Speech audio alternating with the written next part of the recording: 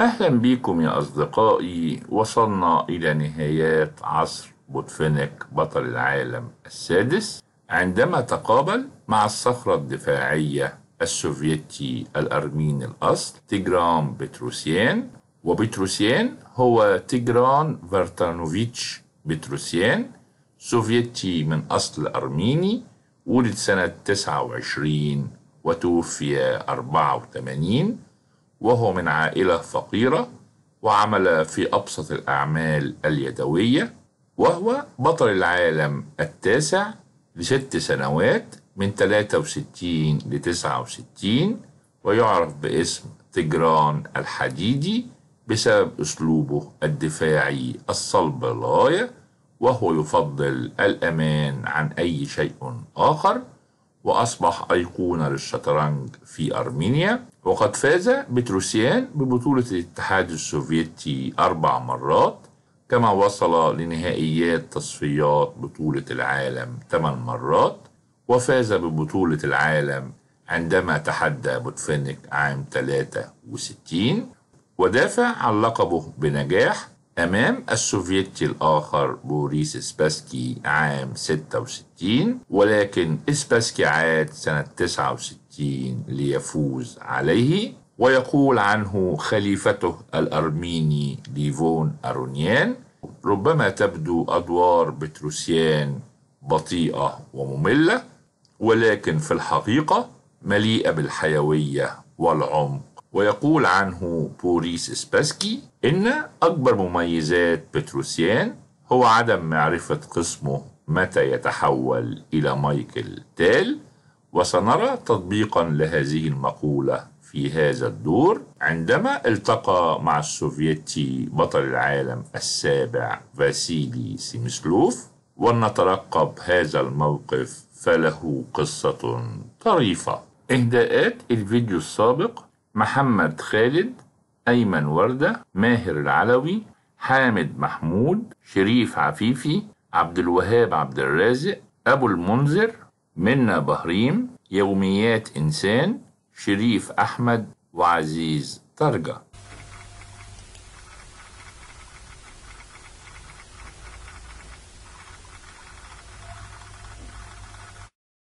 بتروسيان بالأبيض وبدأ C four الافتتاح الإنجليزي ورد سمسلوف Knight F 6 Knight C 3 E 6 Knight F 3 B 6 الافتتاح الإنجليزي تفريع هندي الوزير D 4 وتحولنا إلى هندي الوزير Bishop B 7 A3 D5 بيبدأ في مهاجمة الوسط وبتروسيان أخد وهنا سميسلوف لو أخد بالبيدق هيغلق طريق فيله على الوتر الطويل ولذلك أخد بالحصان. E3 Bishop E7 مستعد للتبييت. Bishop B5 check وهنا الأسود لو غطى بالحصان مثلا من ال C 6 هيقع في مأزق بال Knight E5 طالب الحصان المربوط ولابد من حمايته. وهنا ال Knight E4 هيبعد الوزير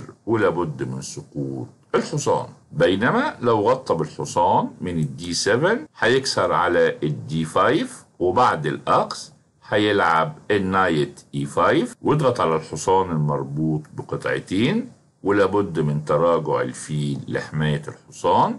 وهنا ال Knight C 6 والوزير في المصيدة. ولذلك سيمسلوف لعب C 6 طالب الفيل اللي تراجع C 5 Knight D 5 وهنا النقلة الصحيحة هي الأخذ بالبيدق رغم إنه هيغلق مؤقتا الفيل على الوتر الطويل ولكن سيمسلوف أخذ بالوزير ودي نقلة سيئة. وربما كانت بداية متاعب سيمسلوف لأن بتروسيان أخذ وهنا النقلة الوحيدة هي الأخذ بالفيل ومع ذلك هيتعرض الأسود لمتاعب بعد ال Bishop B 5 check C 6 هياخد الوزير وبعد الأخذ الفيل هيتراجع والأسود هيبقى ببيدق معزول لكن ده أفضل من اللي حدث في الدور. لأن سميسلوف ما اخدش بالفيل إنما اخد بالوزير وبدأت متاعب الأسود ب Bishop D 2 طالب ال Rook C 1 ويهاجم الوزير وبالفعل بعد Knight C 6 Rook C 1 طالب الوزير والوزير تراجع Queen D 2 Rook C 8 الرخ على عمود الوزير وطالب ال Knight E 5 ويهاجم الوزير ورغم خطورة هذه النقلة تركها بتروسيان وقام بالتبييت وصلنا للموقف المرسوم في مقدمة الفيديو. سيمسلوف له النقلة القوية Knight E 5 بينما تهديد الأبيض هو أخذ بيدق ال H 7 ولذلك سيمسلوف لعب H 6 لإنقاذ البيدق ولكن بعد الدور سأله النقاد لماذا لم تلعب ال Knight E 5 رغم إنها تبدو قوية فقال سيمسلوف إذا كانت قوية فبتروسيان لن يتركها أبدا وده بيدل على عمق تقدير اللاعبين لبتروسيان ولعبه الحذر. وبتروسيان بعد الدور أوضح إن ال Knight E 5 نقلة سيئة رغم إنه طالب الفيل مع الوزير وطالب الحصان مع الفيل بالإضافة لطلب الوزير بالرخ. وهنا في كثير من التفريعات هنرى بعضا منها.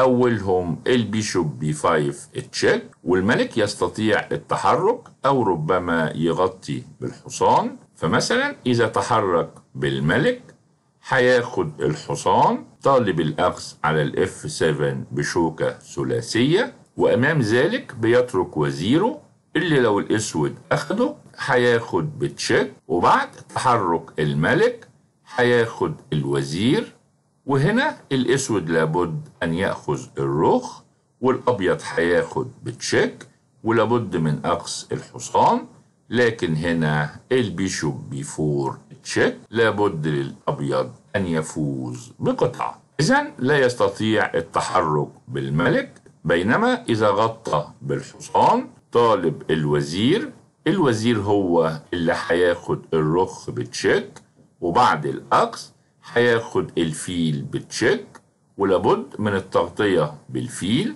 وهنا ال bishop B 4 طالب الوزير والوزير ليس له غير مربع وحيد وهو ال D 5 وهنا هيلاحقه بالفيل. وهنا الوزير لو تحرك على الصف مثلا لل F 5 هيلعب ببساطة rook D 1 طالب الأخذ ب check والحصان هيسقط ووراءه الملك. ولذلك لا يستطيع التحرك على الصف ولابد من الذهاب لل D 3 لمنع ال rook D 1 لكن هنا هينتهي الدور أيضا بال knight E 5 طالب الوزير وطالب الحصان والأبيض هيفوز إذا سميسلوف كان عنده حق بدون تفكير لم يلعب ال knight E 5 وأنقذ بيدقه بتقديمه للأمام وبتروسيان كمل ب rook D 1 والرخ على عمود الوزير وسميسلوف قام بالتبييت وربما حاليا طالب ال knight E 5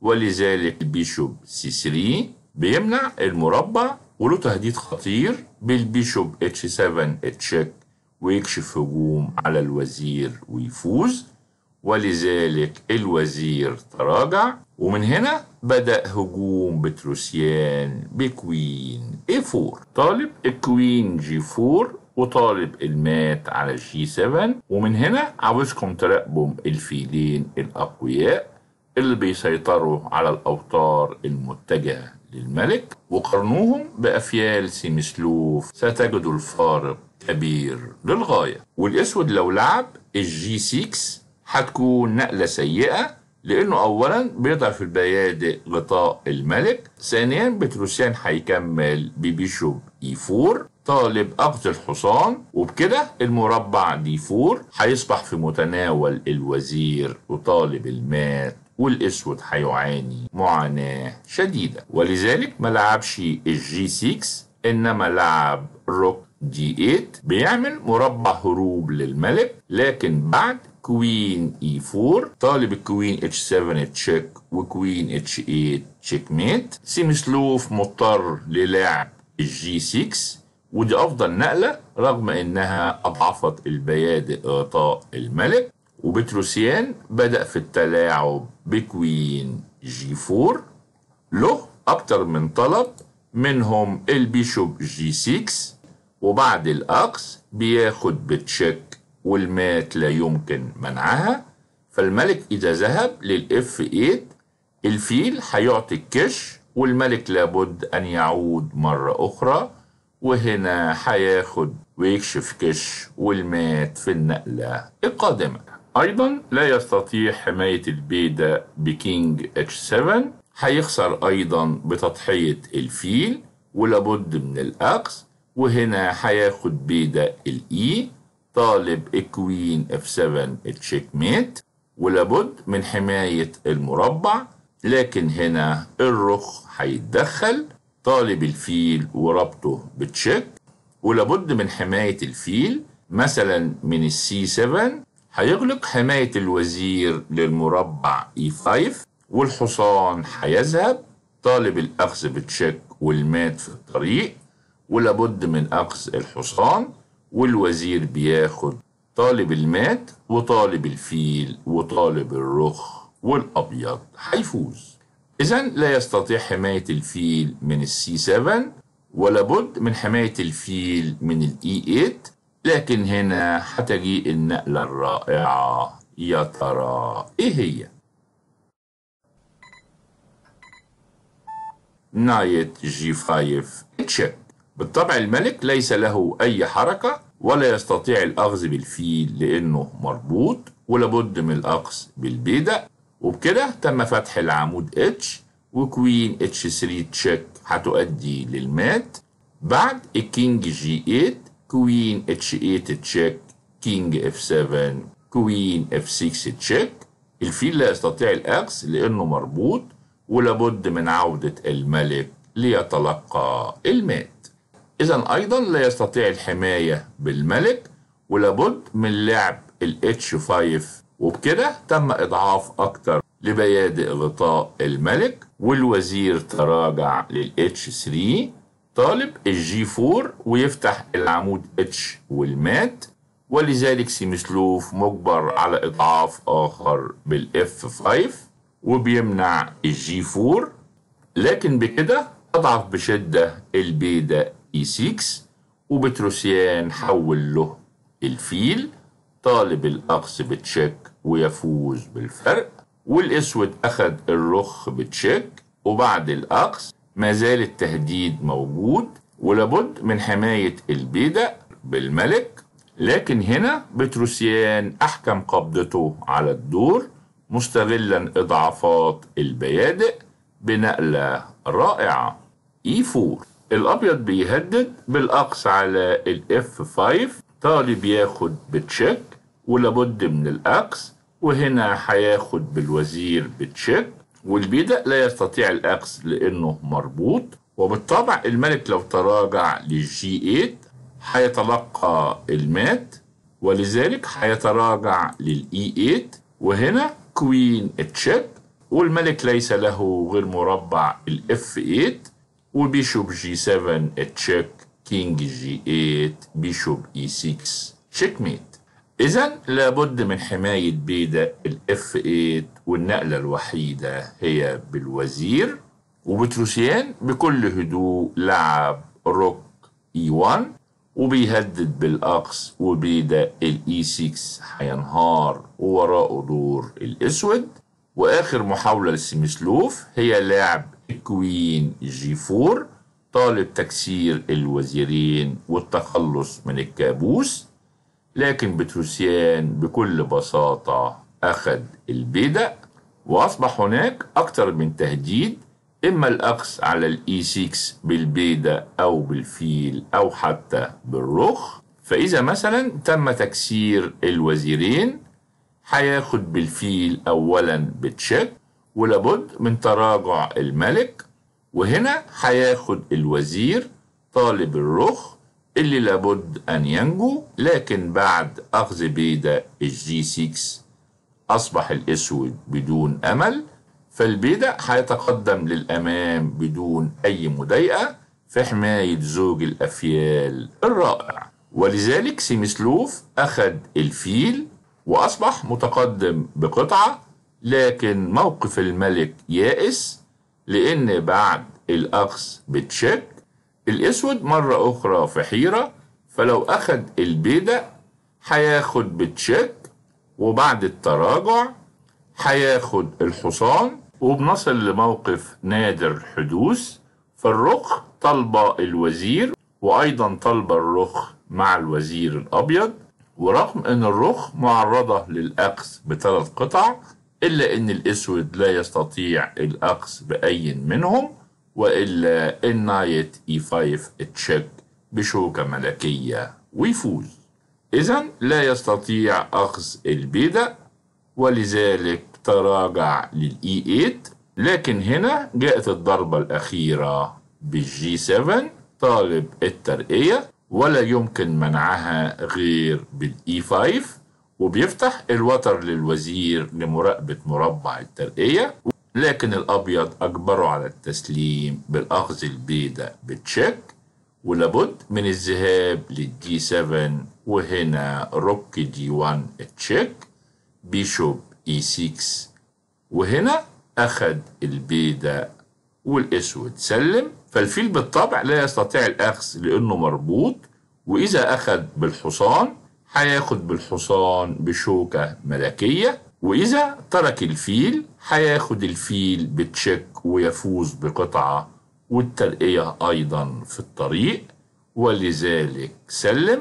وبعد أن أثبت بتروسيان أنه لاعب دفاعي صلب أثبت في هذا الدور أنه أيضا لاعب هجومي وتكتيكي لا يشق له غبار. وإلى اللقاء في موقعته الكبرى مع بوتفينيك على لقب بطولة العالم فهناك الكثير. وإذا أعجبك هذا الفيديو من فضلك سجل إعجابك واشترك في القناة وشارك بتعليقاتك.